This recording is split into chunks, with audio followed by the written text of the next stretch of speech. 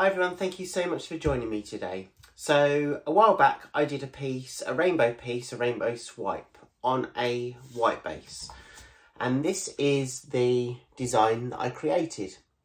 Now this time I want to try and do the same kind of rainbow swipe, but on a black base, just to see what look it has, what kind of different feel it has, using the same colour palette, using the same technique, but just changing one thing and that's the base colour.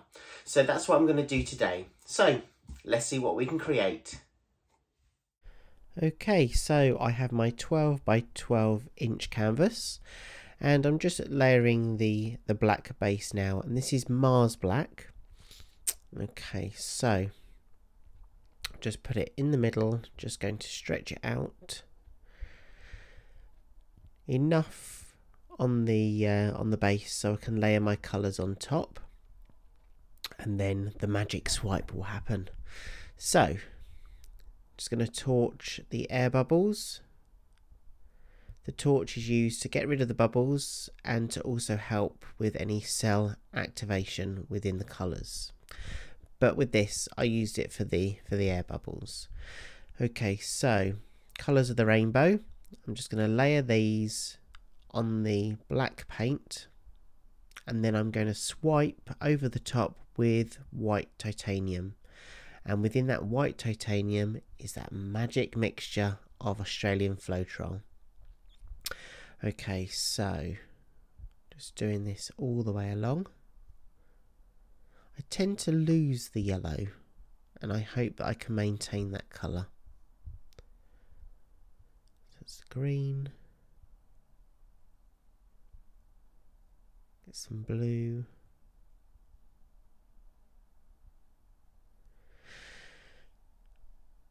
Some purple.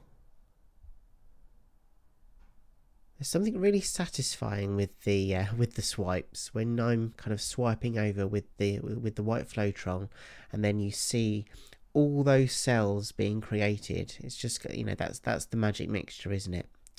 So I'm just going to put some more black base so when I'm stretching it out it can flow.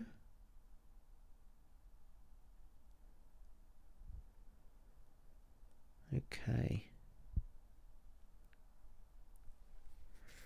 Just checking that it's a consistent layer.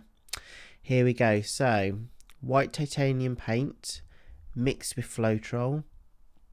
I'm going to get my spatula I'm going to coat my spatula with the white paint and then I'm literally going to swipe across the top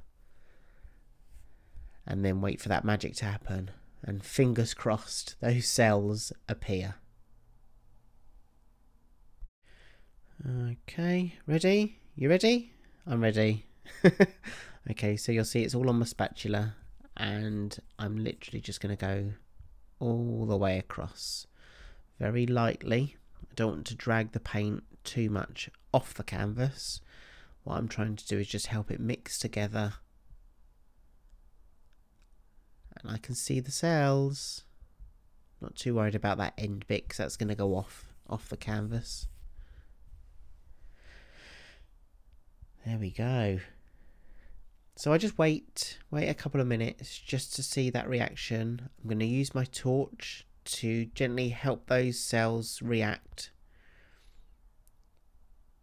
and come through onto the top of the canvas.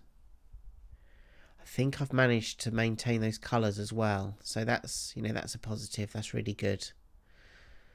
Okay, let me show you what I can see. So, there we go. So you can see all those cells forming. And then the idea will be to stretch that design out across the canvas. I think I'd like some negative space because I, I do like to see the black background. So let's stretch. I think I'm going to take that corner off first. Okay. As I said, I, I want to make sure that I keep my colours, all my colours of the rainbow. Um, I'm just kind of getting used to where the the heaviness and the, the puddles of the paint are. So when I'm stretching it out, I know what I need to get rid of and, and what I can keep. So I'm going to just take that side off first. And then I'm going to bring it back into the middle, just stretch it over a little bit more. I'm not going to rush. What I've learned with doing these swipes and what I've learned when I'm kind of kind of stepping back and looking at the composition is I don't need to rush this process. I can just take some time to stretch and tilt and keep having a look at what it's looking like. You know, I don't want to rush to do it and then I lose some of the cell formation or or lose the design. I'm just going to stretch back over this way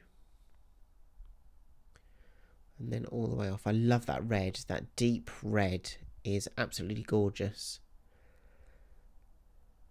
Okay.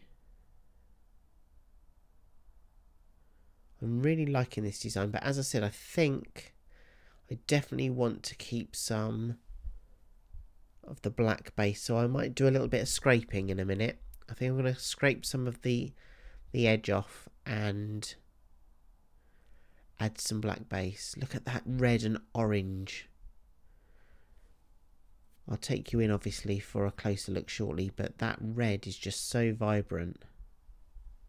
Okay, so I'm just going to fill this in here with the black.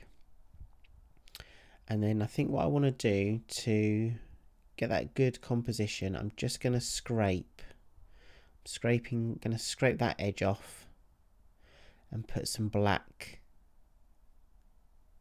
So here we go, get rid. There we go. So here's the proof. If you're not happy with something, just scrape it off, change it up, I'm all, I'm all for that. I think having black then in this corner will match the black in the other corner and that will almost kind of help kind of train the eye to just look in the middle of that piece and see all those vibrant colours and though those colours will be even more vibrant because because of the two black corners so yeah I think that's a that's a good decision and I'm happy with that that really does help with the perspective and the composition of the design itself. Okay, so here's the wet version. Do you see what I mean? With the having those two black corners really helps the colours here kind of stand out. I love that red and that orange together. I've lost some of the yellow. There are there are tints of the yellow in there. There's still a little bit of yellow in there, but not a huge amount. So next time I'll work on that and maybe add a bit more yellow than all the other colours. Those blues, greens and purples just at that age were gorgeous. And I love how the you know when I've when I've put the white paint with the Floetrol over how it's created that lacing in those cells. I wonder what it would look if I kept it all black, so a black base and swiping with black. Maybe I need to try that. I'll show you the dried version and I'd love to know what you think. Have I done the right thing with the two black corners? The vibrancy of these colours are gorgeous. I wonder what other colours I should try. Let me know, guys. What would you like to see? I'd love to hear hear from you. I'd love your feedback on this piece. Here is the dried version. It's dried really, really well. The colours aren't as vibrant, but what I do with all my pieces afterwards is I do apply some gloss varnish. I use a spray gloss varnish over the top and that will help those color, colors shine and be vibrant again. And I know people have said to me before also about um, resin.